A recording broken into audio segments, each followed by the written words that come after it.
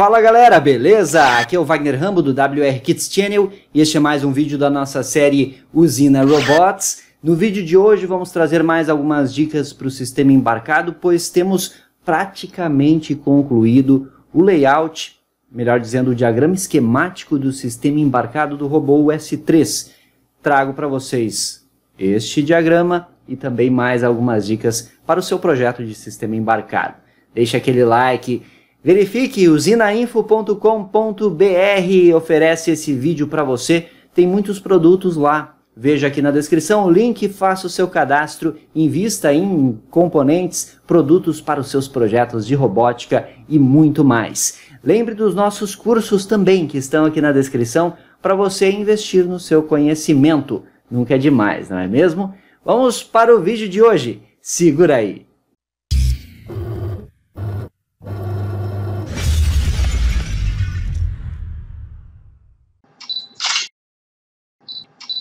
Está aqui o diagrama esquemático, está praticamente pronto. O sistema embarcado do robô aspirador está praticamente pronto. Faltam alguns detalhes que nas próximas aulas aqui da série, nos próximos vídeos, nós iremos concluir e passar a projetar o, o layout desse diagrama esquemático, ou seja, a placa de circuito impresso desse sistema embarcado.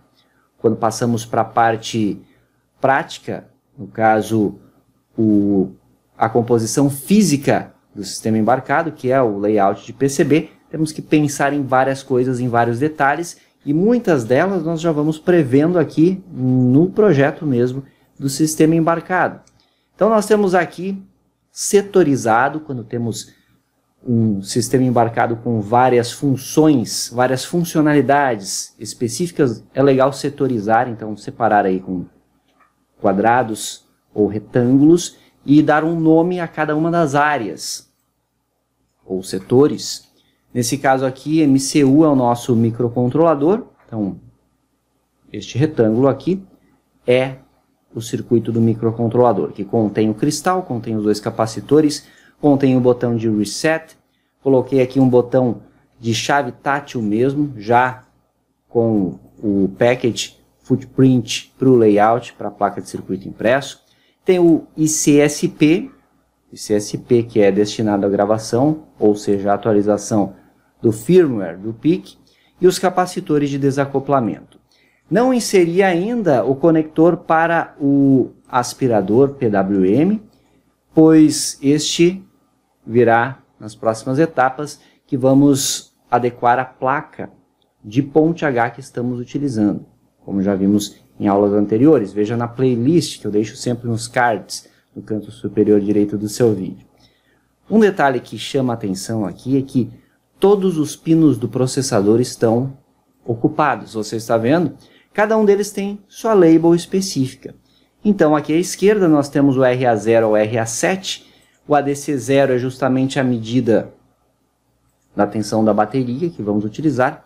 RA1, 2, 3 e 4 são os botões da nossa IHM.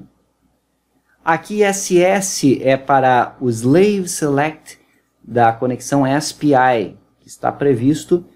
Então vamos, já que tem no PIC sobrando, este pino não está ocupado, vamos deixar conectores disponíveis para atualizações futuras. Vamos supor que no futuro nós teremos um atuador diferente para ser acionado pelo robô, ou mesmo um sensor diferente, ou algum tipo de comunicação entre o robô e outro dispositivo que tenha o protocolo SPI. Como o 4520 apresenta esse protocolo, já deixamos os pinos disponíveis aqui. Oscilador 2 e 1 são para o cristal e aqui tudo para o display. Tudo não, exceto, todos exceto o PGC e PGD que são para gravação do PIC, mas o RS e o Enable são os controles do display e os dados para o display DB4 a DB7. E aí no lado direito nós temos GPIO 0, que é o RC0, que é simplesmente uma I.O., ou seja, entrada barra saída de uso geral ou de propósito geral. Estará disponível em um conector extra, que eu já mostro para você. Esse já está no diagrama. Aqui é o controle de brilho do display, que não por acaso estamos utilizando o CCP2, que é um PWM, então já tem pronto um PWM em hardware aqui. Caso desejamos for des desejável controlar o brilho do display, mais brilho, menos brilho, podemos aplicar um PWM no próprio backlight do display. Então, já que tem esse PWM sobrando, fiz a conexão aqui, podemos, é claro, utilizar apenas o on-off. Low, desliga o backlight, high, liga, sem problema algum. O CCP1 é o PWM do aspirador para partida suave e também o controle da velocidade do aspirador. E ainda temos pinos extra aqui para o SPI, o clock do SPI e do I2C, caso queiramos vai ter também conexão do I2C, então os dados do, do I2C aqui, SDA, o SPI Data Input e o SPI Data Output estão previstos aqui, e TX e RX para nossa UART. Vamos ter conectores para isso também. Aqui você já conhece motor de passo, direção A e B, e velocidade nos clocks aqui A e B. E quatro entradas para sensores. 1 um e 2 já são sensores esteroceptivos frontais do robô. E 3 e 4 provavelmente vamos utilizar para sensores de chão. Poderão ser infravermelho, caso cheguemos a um degrau, por exemplo. Ainda nós temos ADC5, ou seja, o AN5 que estava sobrando. Deixei ele linkado aqui ao U6B. Então veja que quando você utiliza um determinado componente, isso você vai enxergar bastante aqui nesse esquemático, você pode aproveitar todos os recursos dele. O LM358 estava sendo utilizado aqui para a nossa interface, a leitura da tensão da bateria com divisor devidamente calculado, está ligado como um buffer e vai para o ADC0, o AN0 do PIC. Mas o LM358 apresenta dois op-amps em um único encapsulamento. Por que não utilizar este extra como também buffer para uma entrada analógica de uso geral? Então aqui nós temos uma entrada analógica de uso geral que é a N5. Está previsto aqui, que vai ali para a entrada específica do PIC. Ainda dois DPIOs, que vai ser o RE1 e RE2, então, entradas, saídas de uso geral e o nosso master clear aqui. Então, todos os pinos estão ocupados. Temos aqui também leitura, escrita e seleção de interface paralela, que é no port D do PIC. Se você olhar lá no datasheet do fabricante, você verá isso.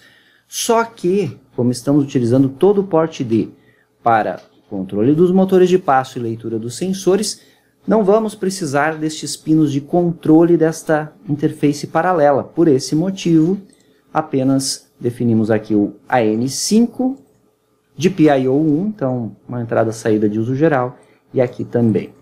Não inserir LEDs nem buzzers para atuações, para trabalharem como atuadores visuais barra sonoros, porque podemos ter em uma placa individual no futuro. Então, podem ser acionados justamente por estas GPIOs ou mesmo pelos, pelas conexões dos protocolos, SPI I2C ou UART.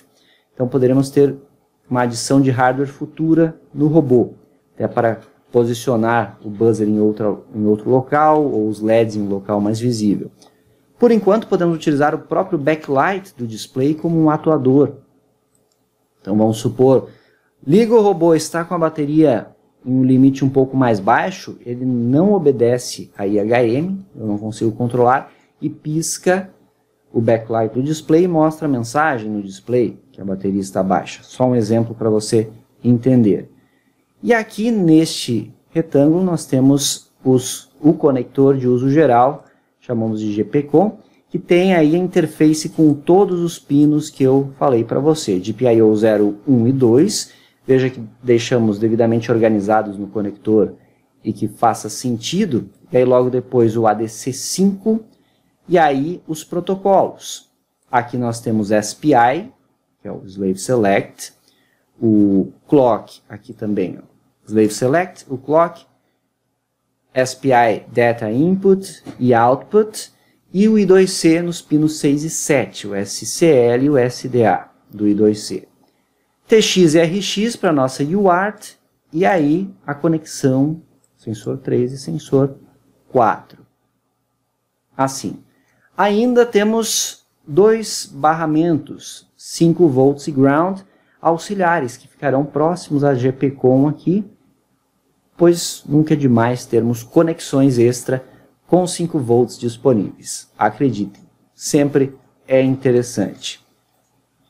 Então aqui o ponto dos sensores, que é o sensor proprioceptivo e os sensores esteroceptivos principais com seus conectores prontinhos aqui. À direita, motores de passo, ainda falta colocar os conectores certinhos, corretos aqui para os motores unipolares. Virão nessa região aqui do esquemático, já está pronto o espaço aí, é só fazer a ligação e como eu mencionei também o do PWM, conexão saída, que na realidade será o conector completo da nossa ponte H, que aciona o motor do aspirador.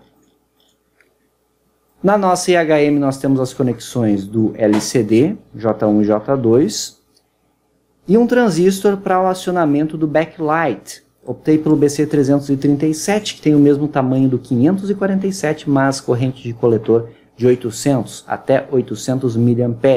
E alguns displays têm, a sua, têm o seu backlight com consumo aí cento e poucos miliamperes, o que iria sobrecarregar o BC547. Então vamos utilizar o BC337 nesse caso aqui, controlado pelo PWM. Temos também trimpote de ajuste de contraste, padrão de sempre nos LCDs, e ainda aqui vou utilizar um pack de resistores para não ter cinco resistores de 10K. Vamos utilizar um único pack, que contém oito no mesmo módulo e ele ocupa bem menos espaço, que são os pull-ups. Então, o botão Enter, Escape, Ink, Deck terão os pull-ups e o Master Clear aproveita também um pull-up do meu package de resistores. Mais um conector a ground para os botões, estes estarão externamente à placa, então terão fios ligando botões de painel, por exemplo, mas o reset está contido na placa, por isso tem o S1 aqui, que é uma chave tátil comum, estará embutida na própria placa. E aí, como dito, para aproveitar o máximo todos os recursos que temos, sobraram três resistores de 10K nesse package, pois são nesse pack, pois são oito. Deixei conectores extra aqui e chamei de 10K A, B e C para o caso de eu precisar de algum pull-up futuramente em algum sistema, até mesmo o protocolo I2C, em alguns casos nós temos que conectar os pull-ups no barramento. Tem dois, aliás, tem três resistores sobrando aqui. Essas dicas, além de compreender todo o esquemático do robô, você pode aproveitar para os seus projetos de sistemas embarcados. Vamos terminar o diagrama esquemático nas próximas aulas. Ele estará totalmente concluído. E aí passaremos para o layout da placa de circuito impresso. Depois mandaremos fabricar, vamos soldar os componentes, fazer os testes e aos poucos compondo o robô completo. Gostou? Deixe seu comentário. Tem mais sugestões para esse esquemático, esse sistema embarcado, também quero saber a sua opinião aqui embaixo. Esse foi mais um vídeo da série Usina Robots. Deixe o seu like, se inscreva no canal e nos siga nas demais redes sociais. Tudo aqui na descrição para você. Isso é engenharia, uso intencional da ciência. Por hoje é isso, eu vou ficando por aqui. Bons projetos, aquele abraço e até a próxima!